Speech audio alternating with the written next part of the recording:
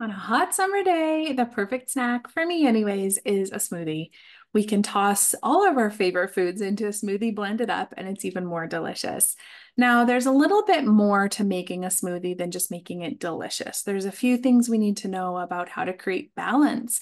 For example, if we just stuff it through, um, stuff it full of fruit, we're probably going to mess up our blood sugar levels a little bit. And so today on the blog, I'm sharing with you some quick and easy um, smoothie recipes. These ones specifically are going to be really energizing for women over 40. We're going to start putting in the ingredients that actually make a difference to our health, the things that are actually setting us up for success instead of diets and restriction and guilt and shame and falling for all of those fad diets, I want you to actually start learning about the necessities of what it takes to put into our body to create and fuel energy.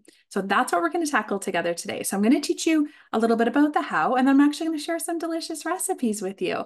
They're free, they're on my blog, they're ready to go. Just click the link. You can head over there now. There's a green power smoothie, there's a berry antioxidant smoothie, there's a tropical turmeric smoothie. So I'm giving you some examples. And then there's another link in there where you can actually download an entire summer nourishing recipe guide as well. So head on over, grab my summer recipe smoothie guide, and then make sure that you download and get access to all of the other recipes as there. I want to set you up for success when it comes to creating your own meals and your own um, food and smoothies and all of that. We don't need to spend a fortune on purchasing smoothies, even though it's a special treat. It should be something that we can easily and simply and healthy make at home. So I'm going to teach you how.